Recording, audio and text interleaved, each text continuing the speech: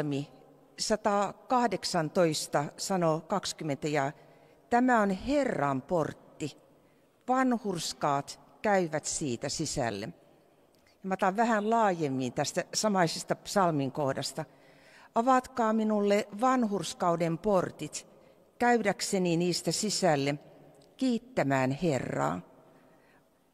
Tämä on Herran portti, vanhurskaat käyvät siitä sisälle.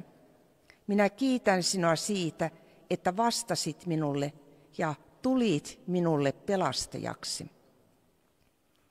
Ja ihan jokainen meistä niin on ollut monenmoisen portin ääressä, vaikka oikeastaan Suomessa ei niinkään harrasteta porttia niin paljon kuin muualla maailmassa. Et me ollaan niin tottuneet siihen, että vapaasti voidaan kadulta astella pihaan ja, ja, ja näin, näin tosiaan niin kuin katsella ympärille. Mutta miten monenlaisia portteja on olemassa? Näkyviä ja näkymättömiä. Ja, ja kun on ihan semmoisia niin tosi kauniita puutarhan portteja, ja, jotka niin oikein niin kuin kutsuu sinne sisälle katsomaan kukkia ja kaikkea sitä kauneutta, mitä puutarha pitää sisällään. Me kuljemme sinne vapaaehtoisesti sisälle ja vapaaehtoisesti ulos. Sitten on ylväitä kartanon portteja, jotka puhuu oikein mahtavuudesta. Ja näistä porteista kulkevat sisälle kutsutut. Ja sitten toisessa päässä porttia tulee vankilan portit, raskaat rautaportit, joita ei kuka tahansa aukaise, ei sisältä, ei ulkoa päin. Vain harvoilla on siihen valtuudet. Ja näistä porteista työntekijätkin kulkevat vain silloin, kun heillä on lupa siihen. Ja vangit ei päätä mistään kulkemisesta itse. Ja sitten meidän elämässämme ihan jokaisen on myöskin näkymättömiä, mutta todellisia portteja. On Jumalan asettamat portit ja on paholaisen portit. Ja jos ajatellaan yleensä portteja, niin nehän asetetaan sitä varten, että sillä osoitetaan, että tämä alue on jonkun hallintavallassa oleva aluetta. Ja Jeesus kutsuu näin Matteuksen evankeliumissa, että tulkaa minun tykö, tyköni, kaikki työtä tekeväiset ja raskautetut, niin minä annan teille levon.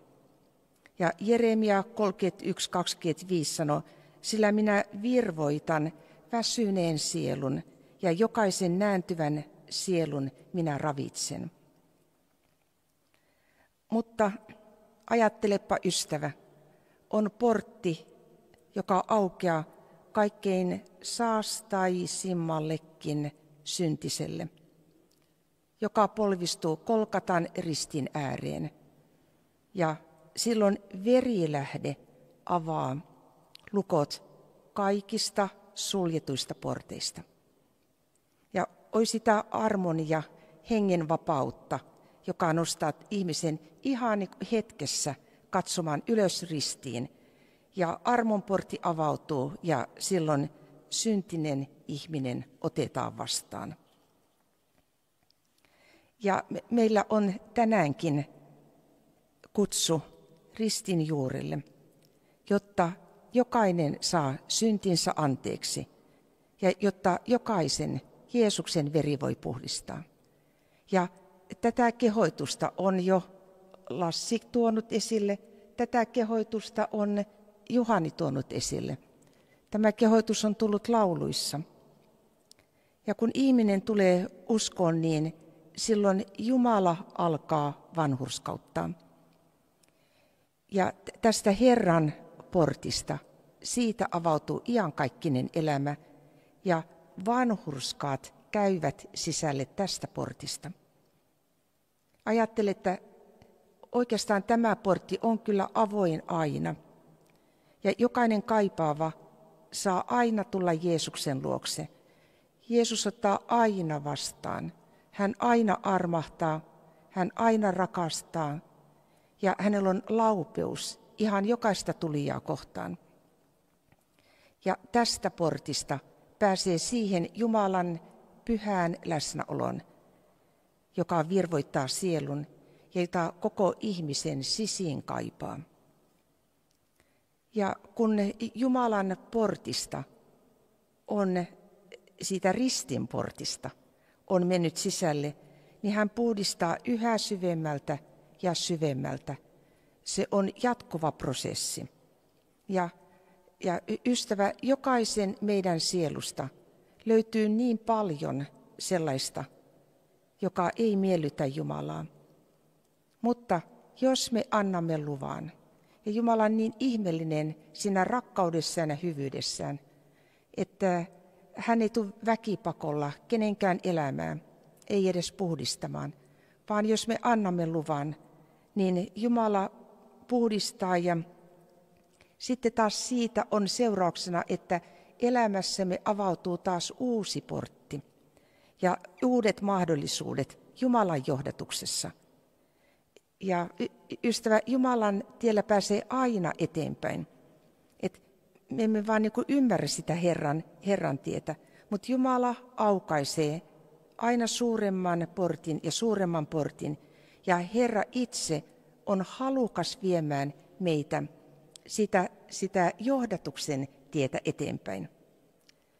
Mutta huomaa, ystävä, Jumala aukaisee, emme me itse. Ja kun tulee Jumalan aika, niin vastaus myöskin tulee. Ja Herra puhuu meille silloin, kun hän itse tahtoo. Ja hän johdattaa oman viisautensa mukaisesti meitä. Ja me olemme ihan jokainen niin riippuvainen siitä, mitä taivas antaa. Ja taas huomaathan ystävät, me emme ota, vaan meille annetaan. Ja mikä pitää myöskin huomioida, että Jumalan porteista ei mennä rahalla sisälle. Siinä on aivan eri maksu. Ja sitten ainakin meillä kotona, kun lapset ovat olleet pieniä, niin meillä on portaiden päässä ollut semmoinen kuin lapsille tarkoitettu portti, jotta he eivät kiipeilisi portaissa ja loukkaisi itseänsä. Ja meidän taivaallinen isä laittaa myöskin kyllä ihan meille jokaiselle sellaisia portteja, jotta me emme vahingoittaisi itseämme. Mutta yleensä ihmisen reaktio näihin portteihin on joko loukkaantuminen Jumalaa kohtaan tai kapina. Ja kuitenkin ajattelet, että takana on isän rakkaus. Ja voi kun me näkisimme sen, että, että miten niin Jumala johdattaa aina rakkautensa ja viisautensa mukaisesti meitä. Ja meidänhän ei ole mikään, mitenkään tarpeellista päästä ihan jokaisesta port, portista seikkailemaan erilaisissa portaissa. Mutta sitten kun Jumala avaa tosiaan portin, niin me olemme kypsiä astumaan silloin siihen haasteeseen. Ja mitkä portit sitten lukitsevat ihmisen? Niitäkin on paljon. Katkeruuden portti, vihan portti, itsekyyden, kaunan, kateuden, kaikenlaisen niin salamielisyyden, koston, saastan, viekkauden portit. Ne estävät ihmisen lähestymisen Herran porttia kohti. Ja jotenkin niin surullista, että miten ihmiset menee sisälle näistä luvattomista paholaisen avaamista porteista, kun ne näyttävät niin houkuttelevilta, mutta ne johtavat turmion tielle. Ja ne ovat sellaisia vankilan portteja, joita ei sitten itse enää voikaan avata ja sulkea. Mutta Jumalan puoleen kääntyminen rukouksessa, niin se avaa tien ulospääsyyn. Jumalan armon Jumala, hän on laupeuden Jumala, ja kun ihminen nöyrtyy ja tekee parannuksen ja kääntyy elävän Jumalan puoleen, tekee parannuksen synneistä, niin hän saa armon. Oma voima ei riitä. Tarvitaan pyhän hengen voima. Ja sitten taivaassa on helmestä tehdyt portit, joista lunastetut saavat käydä sisälle. Ja Matteus sanoo näin, että silloin kuningas sanoi oikealla puolella oleville, tulkaa minun isäni siunatut ja omistakaa se valtakunta, joka on ollut teille valmistettuna maailman perustamisesta asti. Jokaista kutsutaan taivastielle, jos et ole vielä tätä porttia avannut. Ja Matteus 22.4 sanoo näin, että vielä hän lähetti toisia palvelijoita lausuen, Kuts, sanokaa kutsutuille, katso, minä olen valmistanut ateriani, minun härkäni ja syöttiläni ovat teurastetut ja kaikki on valmiina, tulkaa häihin. Ilmestyskirja sanoo näin, että ne 12 porttia olivat 12 helmeä, kukin portti oli yhdestä helmestä, ja kaupungin katu oli puhdasta kultaa, ikään kuin las, läpikuultavaa lasia. Ajattelen, miten hieno näkymä.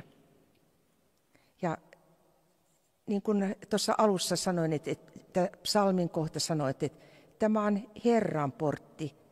Vanhurskaat käyvät siitä sisälle kiittämään Herraa. Ja me saadaan tänään olla, meidän sydän varmasti laulaa kiitosta elävälle Jumalalle ja saadaan olla kiitolliset ja näin kiittäen mennä näistä niin kuin ihmeellisistä Jumalan porteista eteenpäin. Ja vielä haluan oikein muistuttaa tänään, niin Jumalan portti pelastukseen on auki ja se vie kirkkauteen asti. Otatko kutsun vastaan?